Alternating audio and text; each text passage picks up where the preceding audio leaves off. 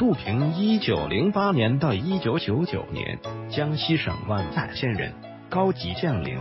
一九五五年被授予中将军衔。杜平将军家贫，早年饱受饥寒之苦。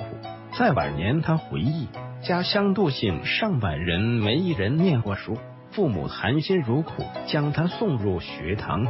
将军中学毕业后，常为乡民书写对联，如“一等人功臣孝子”。两件事：读书耕田，读书经史文章，孝悌传家根本。战争年代，杜平将军书法兴趣中断。抗美援朝时期，我方姚庆祥遭美军袭击，殉职。杜平重操旧业，亲自撰写碑文，约一礼拜写成。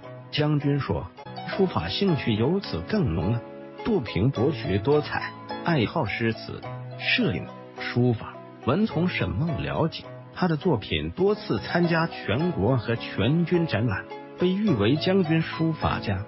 他廉洁奉公，生活简朴，对家属子女要求严格，深受官兵群众的尊敬和爱戴。